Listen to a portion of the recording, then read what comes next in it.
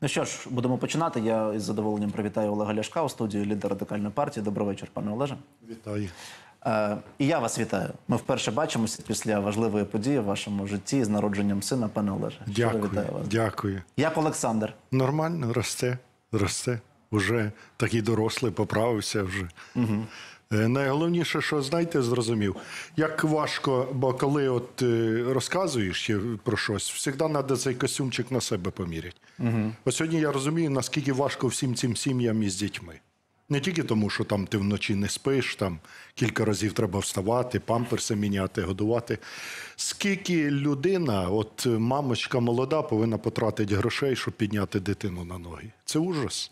Просто коли я, знаєте, кажу, треба підняти допомогу, там 860 гривень по народженню за дитини, це мало. Коли ти це кажеш і сам це на своїй шкурі не пробуєш, це одне. А коли ти бачиш, що та пачка памперсів е, за 4 дні, і цих е, памперсів треба о, отаку гору, і все це коштує гроші. То невже і Олег А- Ляшко на гаманці відчув? А ви ні, не, звичайно. Я ж кажу не тільки про себе, я кажу про багато-багато сімей в Україні. Е, на памперси потрать, на харчування мамі треба хорошо їсти, щоб було грудне молоко. Якщо немає грудного молока, треба докормлювати дитину. Отака баночка маленька е, на докорм е, коштує там десь 35 гривень. А таких баночок на день треба 4. От порахуйте, скільки на тиждень. А потім плюс всі ці пільонки, е, носочки, шапочки і все, все, все, все. Е, Присипки, якісь там мазі, лікаря позвати треба там раз на тиждень, щоб подивився, медсестру. Тобто потім ми дивуємося, чого е, наші молоді дівчата бояться народжувати. А за які, за які шиши вони піднімуть цю дитину? Тому я на власному досвіді стверджую, що треба радикально міняти державну політику в плані підтримки молодих сімей. Особливо сьогодні, коли в умовах карантину вони багато втратили доходи. Про державну політику, економічну і соціальну, пане Олеже, будемо обов'язково говорити. Ви знаєте, сьогодні Кабінет міністрів опублікував е, стратегію по виходу да, з е, кризи е, коронавірусної, скажімо так. Про це дискутуємо, але хочу почати з центральної теми сьогоднішнього дня. Близько сьомої ранку жителі міста Бровари прокинулися від звуку пострілів. Поряд житловими будинками сталася масштабна стрілянина. Зі слів очевидців, стріляли з автоматів. Зброя була закрита чорними ганчірками. Давайте подивимося от фрагмент відео е, цих сутичок стрілянини, який був опублікований у соціальних мережах. Будь ласка.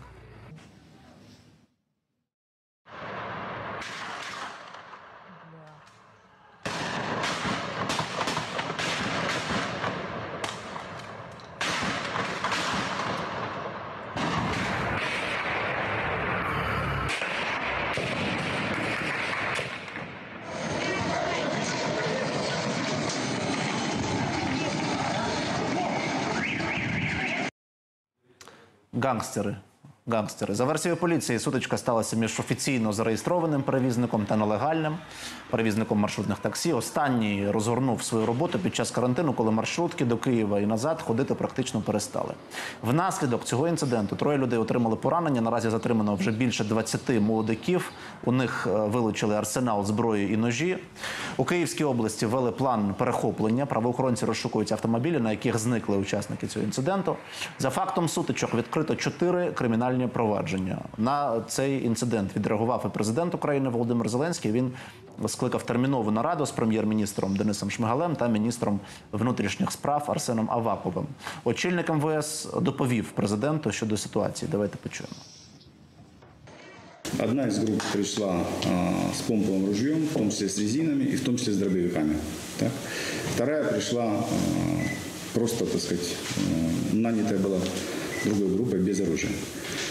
А, Началось столкновение, условно говоря, местных броварских а, перевозников, которые до этого контролировали эти перевозки между Броварами и Киевом, и внешними перевозчиками, которым отдали теперь значительную часть этих маршрутов. Это неожиданная была ситуация. Э, У меня большие вопросы есть по а, броварской полиции. В свою чергу Володимир Зеленський доручив Арсену Авакову терміново розібратися з ситуацією та покарати винних. Президента також почуємо. Те, що відбувалося у е, броварах, е, нагадувало такі 90-ті. Хотілося б, щоб ці люди не вийшли на волю. Хотілося б, щоб ми знайшли замовників. Я бачу відео, там дуже багато всього, щоб там на місцях ми розібралися, допомогли людям, які просто звичайні люди, які потрапили в цю е, ситуацію. Пане Олеже, ситуація складна. Ми до цих хвилин уважно стежимо за спецоперацією, де, яку проводить Національна поліція. Затримали частину молодиків на в'їзді у Вінницю. Ви знаєте, на Житомирщині частину, бо вони роз'їжджаються зараз на, на автомобілях, які зафіксували правоохоронці. Та все ж, е, як оцінюєте те, що відбулося? Про що свідчить те, що сьогодні, у 21 сторіччі, у європейському місті, серед біла дня, ну вранці, от таке може відбуватися, як ми бачили ці кадри. Це свідчить тільки про одне: про управлінський хаос, абсолютне безвладдя в Україні і беззаконня. Прав той, у кого є зброя, немає ніякої відповідальності, немає системи влади, е, немає е, жодного контролю і боязні відповідальності перед законом. Ну ви можете уявити в будь-якій іншій європейській країні 100 людей зі зброєю в 7 ранку починають виясняти стосунки. Да таке навіть в 90-х не було. Президент каже, що це як в 90-ті, в 90-х такого не було. Тобто це повний хаос. Це результати е, всієї цієї політики, яку сьогодні переживає країна. Е, Десь орієнтовно 500 тисяч людей е, щодня приїжджають у Київ маршрутками. Це не рахуючи там поїзда і все інше. Порахуйте там вартість квитка і скільки в день, які це бабки. За це можна любого застрелити за такі гроші. Тобто це показує, що там величезна корупція. Ми розказуємо, що немає грошей, позичаємо то в Міжнародного валютного фонду, то ще де-небудь. Та елементарно на маршрутках сотні мільйонів доларів у рік, мільярди доларів у рік проходять без будь-якого оподаткування, без нічого. Тому треба звільняти губернатора Київської області, який нахомутав усі ці корупційні квоти на маршрути. І всіх, всіх треба звільняти. Жорстко всіх звільняти і в тюрму сажати. Іншого варіанту наводити порядок немає. От ця ліберасія, сюсю, мусю там посадили через три дня, випустили, і потім опять ходить зі зброї, стріляє. І всім треба прекращати. Посадить і не випустить, і все. Мінімум на 5 років. Ото всі сотні, хто там стріляв, хто взяв зброю, 5 років тюрми. Разом із губернатором, разом з начальником поліції, разом із прокурором і разом з усіма, хто е, допустив цю ситуацію. Де розвідслужби? Де оперативники? Де раніше повиганяли? Слухайте, е, сищики раніше ти тільки думаєш там про щось піти десь грабануть когось, уже тебе заложили. Тому що був агентурний апарат, сищики, які все це знали. І ти тільки приходиш кудись на діло, тебе вже там ждуть з наручниками. А сьогодні що? Ну да. Тому треба жорстко-жорстко на все це реагувати. Тому що якщо все це безнаказано пройде, слухайте, завтра так стрілятимуть у кожного з нас під дому. Ну, ситуація Кому це треба? жахлива ситуація. А от у вікна попадають. поруч А якби дит- дитину дитячий садочок, попали? да, там свідки про це сьогодні говорили. До речі, про свідків наш спеціальний кореспондент Яна Вінюкова зараз на прямому зв'язку з нами перебуває. Вона на місці події, пане Олеже. Яна, вітаю тебе. Е, Що відомо е, стосовно того, що відбувалося вранці станом на зараз? І я знаю, що тобі вдалося поспілкуватися із свідками цих подій. Прошу тебе, Яна.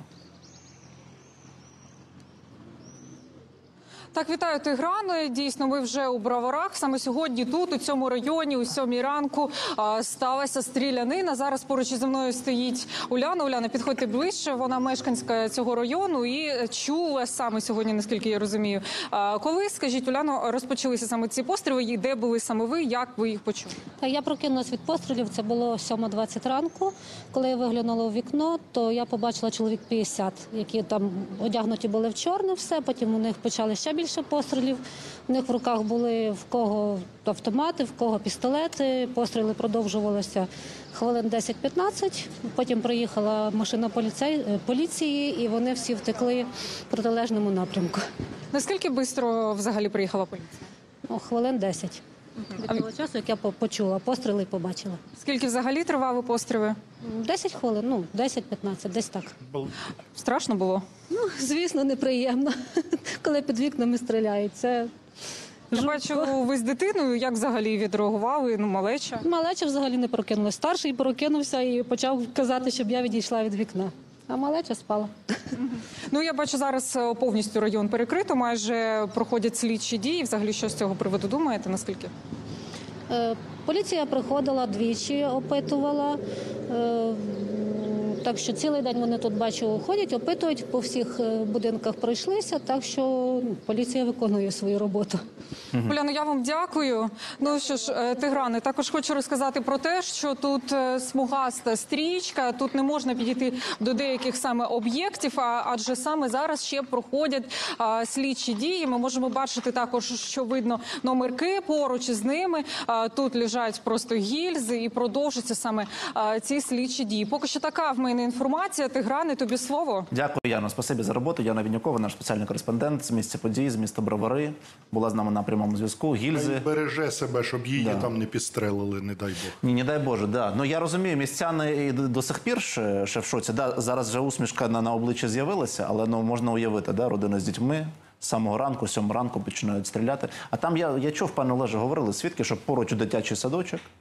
Показували фотографії, зараз в со- соцмережах розповсюджуються, як прострілило декому з е, мешканців будинку е, да, вікна настіж. Це дуже погана історія, яка дискредитує Україну. Це в, просто, просто, просто дуже погано. Хто з тобою буде говорити? Який інвестор сюди прийде? Хто буде взагалі думати, мати якусь справу з Україною, коли тут серед білого дня сотня людей може зі зброї прийти, е, стріляти за якісь маршрутки? Да? Тому легалізувати все це треба. В бюджет наповнювати, щоб йшли на зарплати медикам. Е, медики щодня ризикують цим своїм життям, найдорогоціннішим, що є, рятуючи від коронавірусу. За квітень заборгованість по зарплатам медикам виросла. Іде у Львівській області, в Тернопільській, там, де найбільше е, кількість захворюваних на коронавірус, замість того, щоб підняти медикам зарплати, у них зросла заборгованість. Чому зросла заборгованість? Тому що одна корупція на маршрутках, на митниці, на податковій, і де завгодно. І розказують, що немає грошей. Ну тут кажуть, що навіть складніше може бути ситуація, Олеже, бо криміналітет, ніби ну е, пишуть да, зараз змі, що криміналітет долучений до цих справ, що це розборки авторитетів якихось там.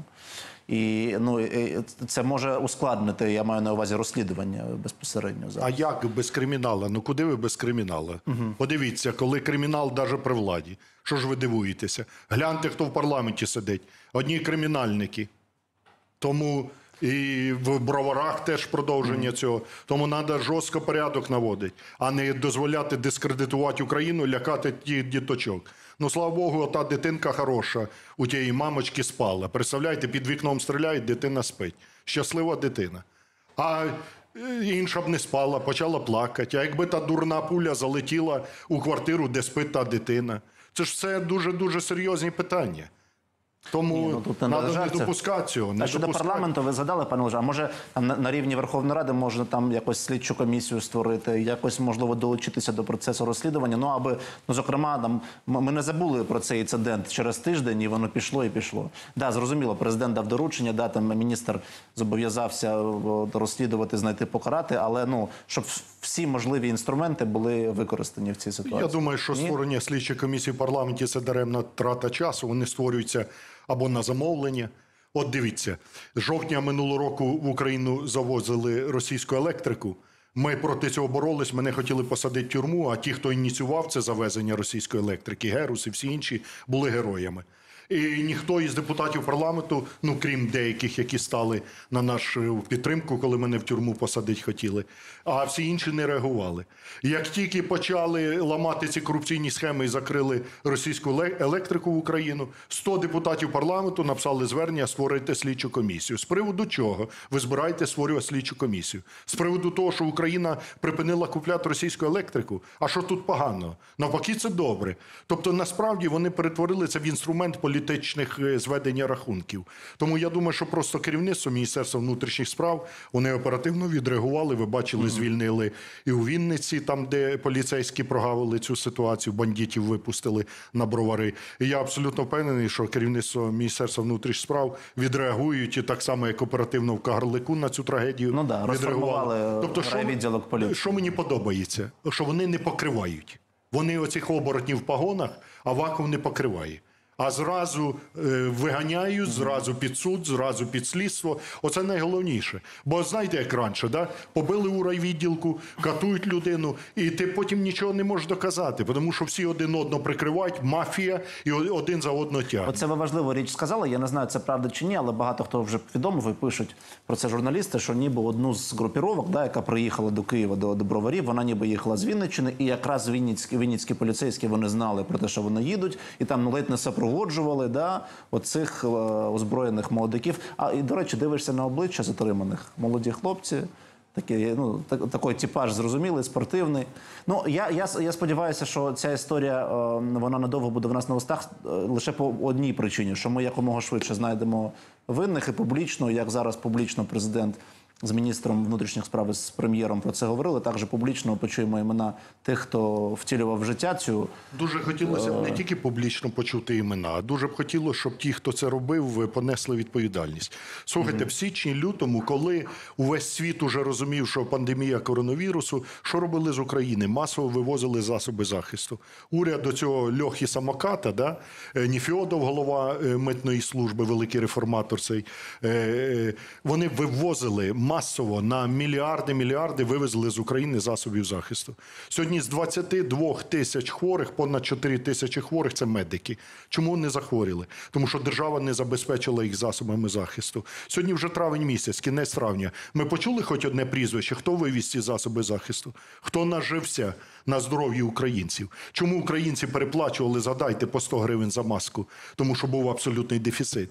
Чому у медиків не було засобів захисту? Хто заробив мільярди? Gugliardi, Уже кілька місяців пройшло, а ми досі цих імен не чуємо. Хоча встановити і фірми, і куди гроші перераховувалися, і хто бенефіціари цих фірм, жодних проблем немає. Проблема, очевидно, тільки одна: ці мародери були причетні до влади, і тому влада їх бере і покриває. І медики своїм життям і здоров'ям платять за це мародерство. Два місяці тому парламент проголосував, виділив там 65 мільярдів гривень на боротьбу з коронавірусом. Скільки станом на сьогоднішній день освоєно? Менше 20%. У медиків росте заборгованість по зарплаті. У медики так само за свої гроші купують засоби захисту, тому що вони нічим не забезпечені. Ну і хворіють. Кожен Да. п'ятий із тих, хто сьогодні лабораторно підтверджений, да, з діагнозом коронавірус, це лікар, це медик. На Львівщині нещодавно померла е, лікар-анестезіолог е, пані Федоришин від е, коронавірусу. Надавала допомоги іншим, сама заразилася. На Кіровоградщині двоє братів медиків померло від коронавірусу на роботі. Ми чуємо масові повідомлення на Харківщині, е, десь іще хворіють ці е, чудові люди, які виконують клятву Гіппократа. Чому вони повинні помирати? Чому вони повинні хворіти через те, що хтось наживається? Де влада? Чому вона не візьме за задницю, не посадить в тюрму тих, хто мародери е, пограбили і вивезли з України? Чому вони їх покривають? Наступній годині будемо спілкуватися з генеральним прокурором. Спитаємо у пані Ірини Вердіктової, зокрема, і про це, пане Леже, ви праві. Але от е, з, огляду на те, що відбувається, у нас же ще й паралельно реформа триває системи охорони здоров'я. Ми зараз перед тим як перейдемо до наступної теми, про це вас також хочу спитати. Бачили да, реакцію послів багатьох країн про те, що от, ніби реформу треба продовжувати, і незважаючи на те, що і президент, і профільний міністр охорони здоров'я заявили, що треба її коригувати, бо на ну не адаптована до українських реалій.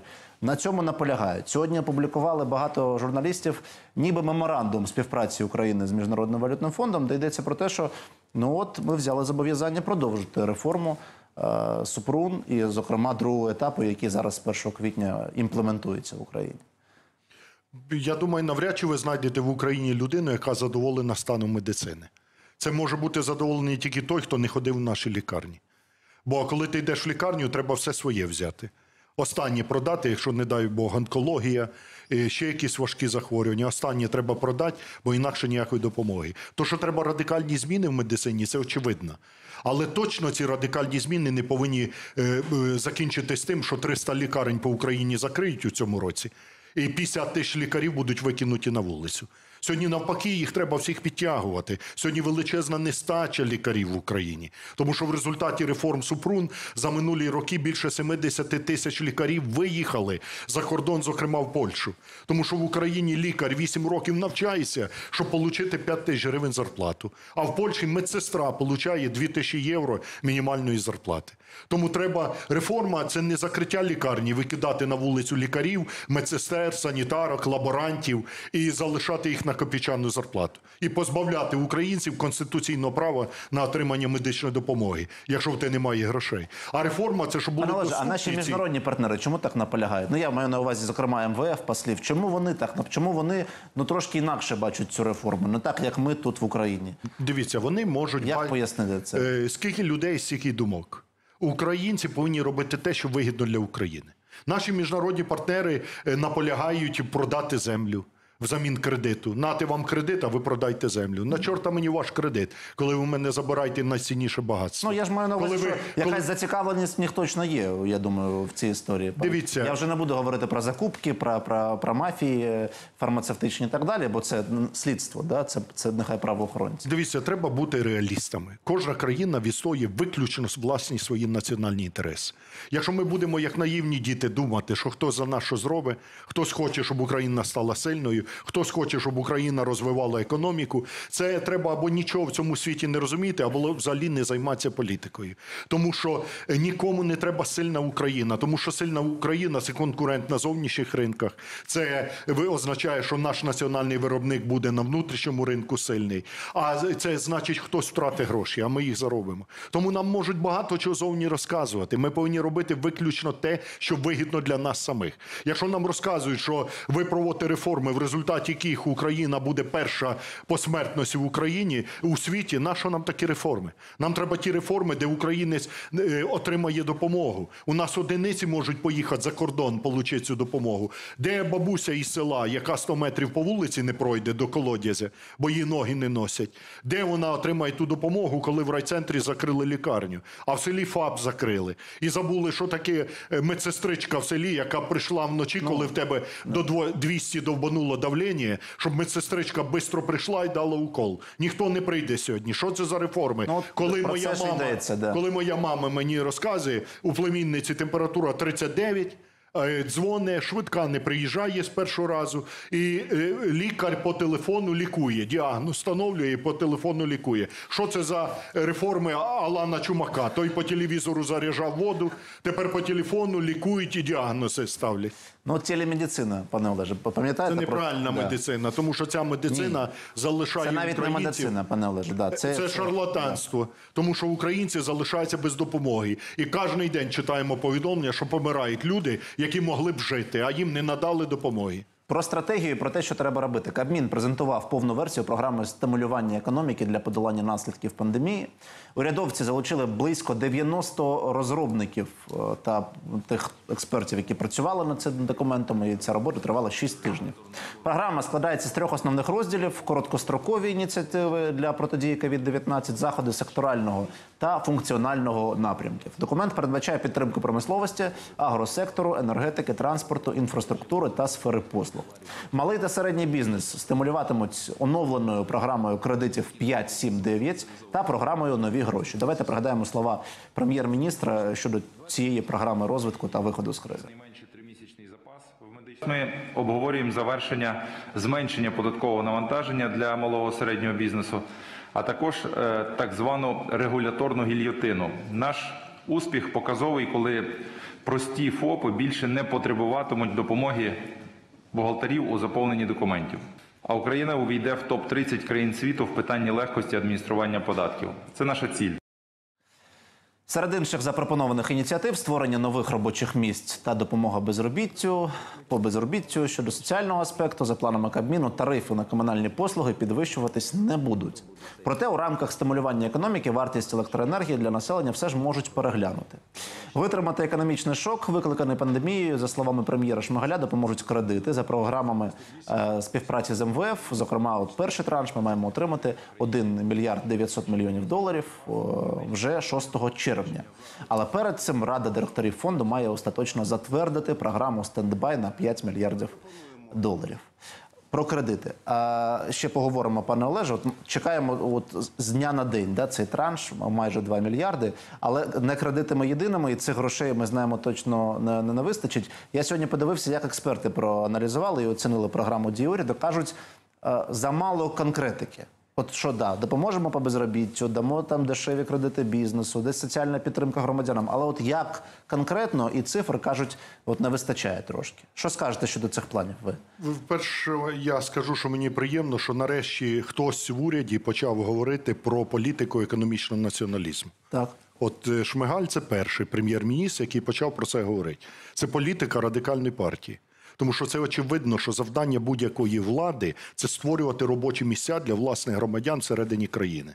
Якщо політика, економічна політика влади приводить до того, що країна не може прожити без кредитів, виганяють людей на вулицю, залишають без роботи, виганяють за кордони, то це дуже погана влада і це дуже погана політика, яка ніколи не дасть можливості відмовитися від кредитів. І потім нам будуть нав'язувати знову різні умови, тому що розказують, немає альтернативи співпраці з міжнародним валютним фондом. Я стверджую, альтернатива є це відновлення власної економіки. І те, що уряд почав нарешті, хоча б говорити про це, це вже великий прогрес. Тому що, наприклад, уряд Льохи Самоката, попередника Шмигаля, вони робили з точністю все до навпаки. Для них головні пріоритети були це розпродаж державного майна, це дерегуляція, Приватизація. це приватизація, це розпродаж української землі. І з такими і е, легалізація проституції, і азартних ігор. І з такими пріоритетами можна тільки на кладбище доїхати, але точно не до подолання, не до кінця епохи бідності, не до подолання економічної кризи і не до того, щоб наша країна стала сильною. Але надзвичайно важливо не тільки що декларують, а й що і роблять. Так в цьому плані в мене є претензії. Наприклад, зараз президент підписав закон 1210. Це фактично закон про податковий терор. Я вважаю, що в нинішніх умовах цей закон був прийнятий до пандемії коронавірусу. Підписали його вже зараз, коли мільйони людей залишились без роботи, коли податку роблять фактично інструментом терору, коли чесний бізнес витискається з країни, коли піднімаються податки. Як можна піднімати податки в нинішніх умовах? Тому ми наполягаємо на тому, щоб навпаки знижувати податки. Бо ні один інвестор не прийде в країну, коли кожні півроку міняються податкові правила. Да. Або інший приклад. От уряд вводить, який розказує про підтримку економіки, а беруть і вводять якась там міжвідомча комісія урядова, вводить 18% мита на полі відділ хлорид. Е, е, Для чого це робиться? Що це за субстанція? З неї вікна роблять, двері роблять, шпалери роблять і багато чого іншого. Як можна вводити новий податок, коли фактично збільшується вартість цієї продукції, і в Україні як мінімум 50 тисяч людей, які працюють в цій галузі, можуть залишитися без це роботи. надважливо буде з вами поговорити. Я хочу окремо вас про це спитати, бо я от знову посилаючись на цей меморандум співпраці з МВФ, з вами про це поговорю. Тому що там йдеться про те, що податки треба буде піднімати. І ніби ну поки не підтверджена ця інформація, але от ніби ну ми погодили цю програму співпраці. Якщо узгодить і президент і прем'єри підпишуть, то нас чекає підняття і податків серед іншого. Якщо українська влада взяла на себе зобов'язання про підвищення податків, Ще не знаємо про ні про яке економічне зростання мови бути не може. Шановні телеглядачі, якщо у вас є запитання або коментарі, 050 324 24 24, це номер зараз на екрані. У месенджерах Viber, WhatsApp і Telegram можете нам з паном Олегом написати. Ми з задоволенням відреагуємо на ваші запитання і коментарі. Пане Олеже, ми зупинилися на питанні співпраці з МВФ, і я, я говорив, що опублікували е, меморандум про співпрацю України з міжнародним валютним фондом. І там багато таких от викликаючих запитання аспектів. Я говорив про підвищення податків, про продовження пенсійної реформи і підвищення пенсійного віку в Україні, і так далі. І так далі. Що з цим робити? Тому що з одного боку ми розуміємо, що дійсно сьогодні конче необхідні ці гроші від МВФ, але якщо ці умови занадто важкі. Ну такі, ну я м'яко кажучи, непопулярні, да? е, то як вчинити в цій ситуації правильно? Відповідь зрозуміла: відновлювати власну економіку, ставати самим на ноги і припиняти взагалі брати будь-який кредит. Брати приклад з цієї ж Турції. Турція колись була в боргах як шовках. А сьогодні вони взагалі ні копійки не должні міжнародному валютному фонду. Зате турецькі товари продаються по всьому світу. Те саме китайські товари. І за рахунок власної економіки вони живуть. От так само повинна Україна навчитися самостійно жити, а не ходити на костелях і весь час, як наркомани, сидіти на цій дозі, дадуть чи не дадуть. Дали кредит, е, кайфуємо, гуляємо. Потім е, випили, е, проспалися, опять треба кредиту і шукаємо, що знову продати, щоб отримати черговий кредит. Замість того, щоб думати, як самим заробити, як землю обробити, щоб клаптика землі не гуляло, щоб були забезпечені врожаєм, щоб продовольча безпека була, щоб не зерном торгувати, а готовою продукцією, і е, щоб виробництво власне відновити. От про що треба думати, а не нам на зірку героя собі сипляють, що взяли кредити міжнародного валютного фонду. За це взагалі гнати в шию треба, тому що це показує, що ви не здатні проводити самостійної економічної політики. Сьогодні ключова проблема в країні це проблема бідності. Подивіться, Міністерство соціальної політики визнає 45% українців за межею бідності, 10% ВВП йде на соціальні програми. Це катастрофа. Це означає, що половина людей в країні не здатні забезпечити свої життєві потреби, заплатити за харчування, за ліки, за навчання дітей, за комунальні послуги. Що робить влада? Замість того, щоб допомогти цим соціально нужденним, допомогти знайти роботу,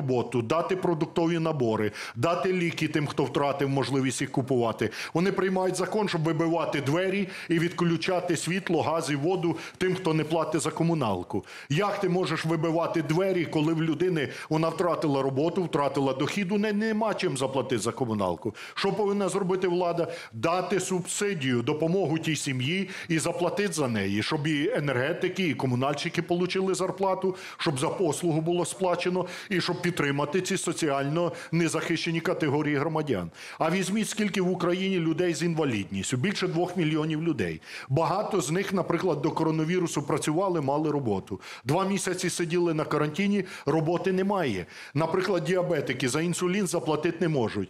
Серцево-судинні ті е, захворювання, за якісь ліки заплатити не можуть. Як вони сьогодні лікуються? Де вони беруть гроші, щоб купити пачку ліків, пачку інсуліна? Хто допоміг їм у цій ситуації?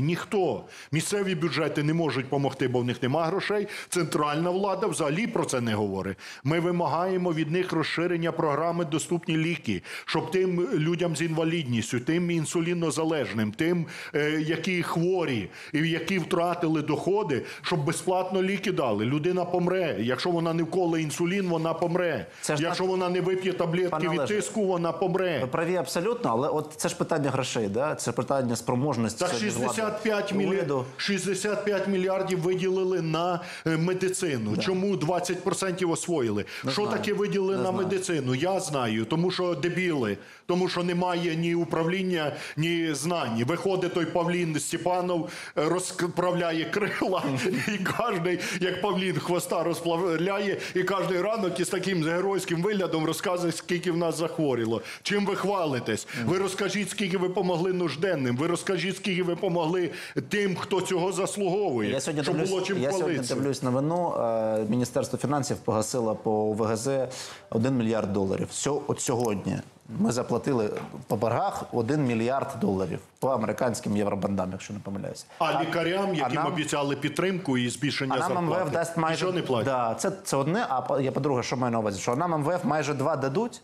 От зараз, от ніби за ці всі умови. Я задав, там о, йдеться про те, що от НАБУ треба дати можливість прослушки також, да, щоб вони могли перехвачувати дзвінки, смски, переписки. Та так хай далі. слухають, да Бог з ними, хай слухають. Слухайте, ви криміналом займаєтесь? Я- Ні, я- так і що вас слухать? Ну, може, як ви коханці дзвоните. Е, Це єдине, що можна від вас слухати.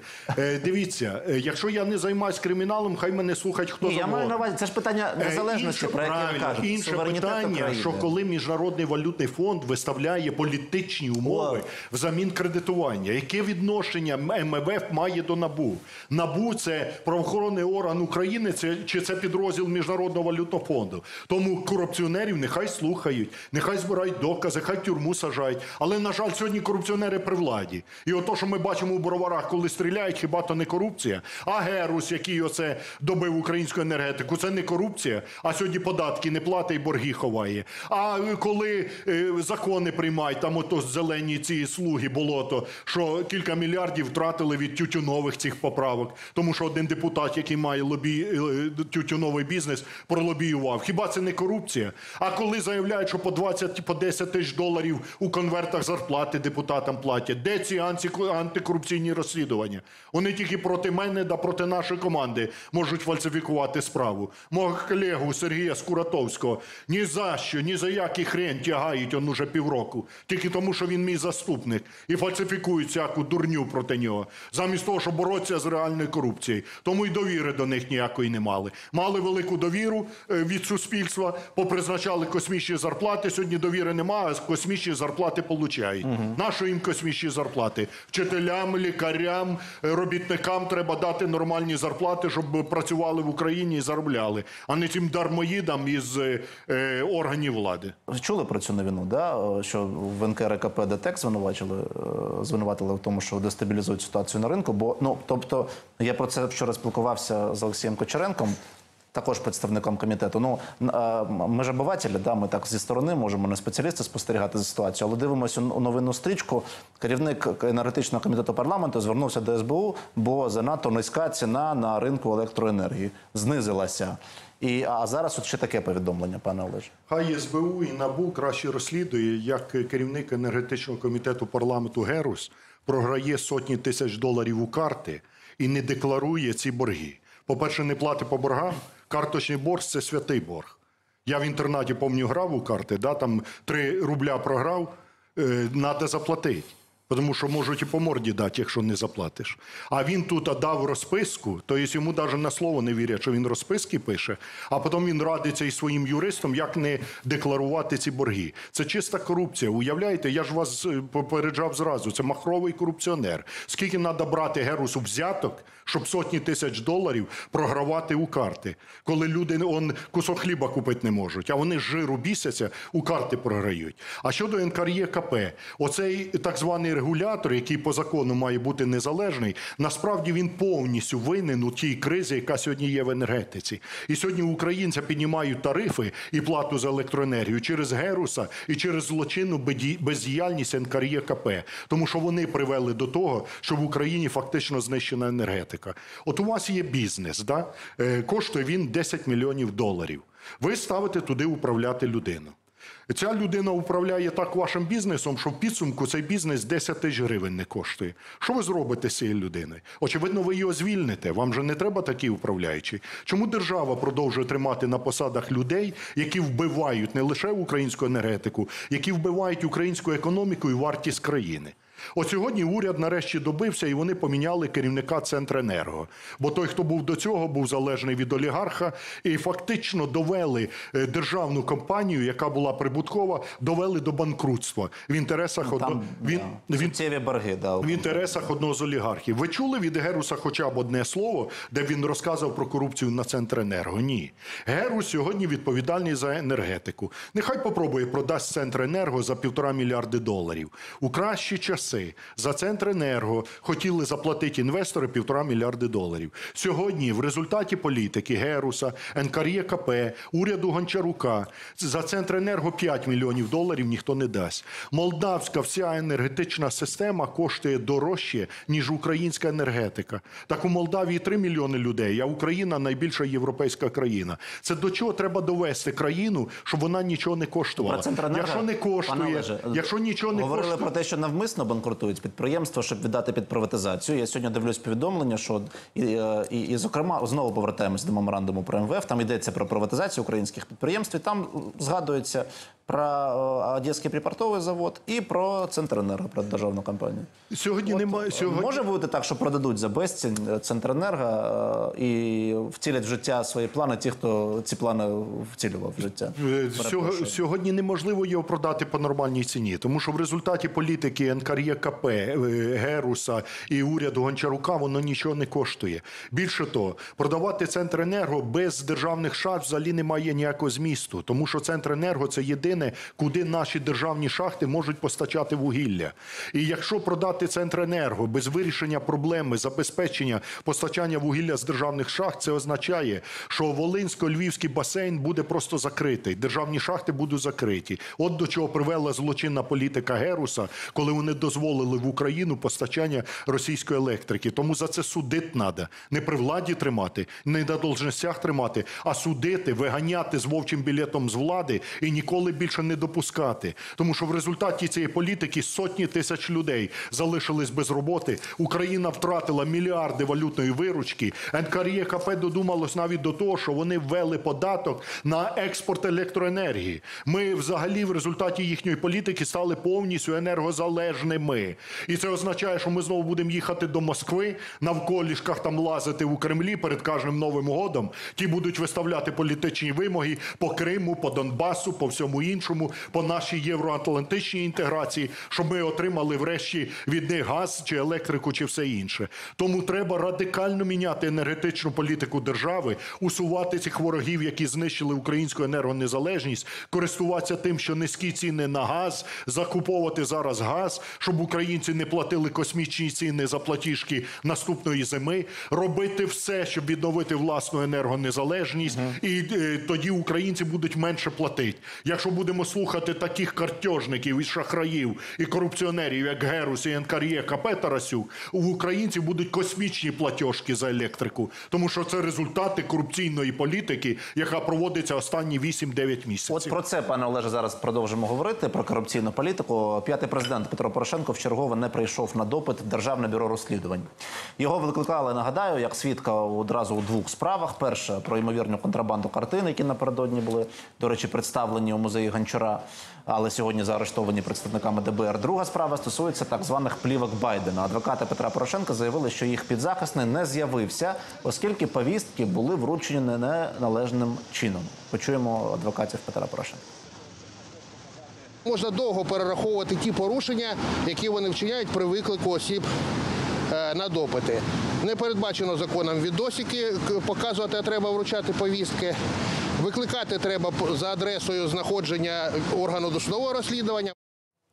Тим часом в ДБР заперечують слова адвоката, слідчі е, приймають рішення про подальші кроки і не виключають силового приводу згідно спецпроцедури силового приводу Петра Порошенка. Давайте почуємо представників Державного бюро розслідувань. Повістка про виклик до слідчого вручалася у порядку, передбаченому кримінально-процесуальним законодавством. Особа, яка викликалася, вважається повідомленою належним чином. Нагадаю, у вівторок Порошенко не прийшов на допит в ДБР, натомість відкривав виставку у музеї Гончара. Пізніше туди приїхали співробітники Державного бюро розслідувань. Під час їхньої спроби зайти у приміщення сталися сутички. А сьогодні ж слідчі ДБР мали допитати п'ятого президента у справі е, відкритій за фактом незаконного прослуховування, що могло завдати шкоди державним інтересам. Йдеться про оприлюднені раніше аудіозаписи, які можуть свідчити про вплив експрезидента США Джо Байдена на президента України того часу Петра Порошенка е, по багатьох справах. Пане Олеже, я про що спитаю? У нас не так багато часу, де й говорити тут, чесно кажучи, є, на мою думку, там розлого нема про що, тому що ну трошки це вже стає схожим на, на, на фарс. Викликають, не приходить, викликають, не приходить, і кінця і краю ні цієї історії. Я вважаю, що так звана справа Байдена це чиста російська провокація.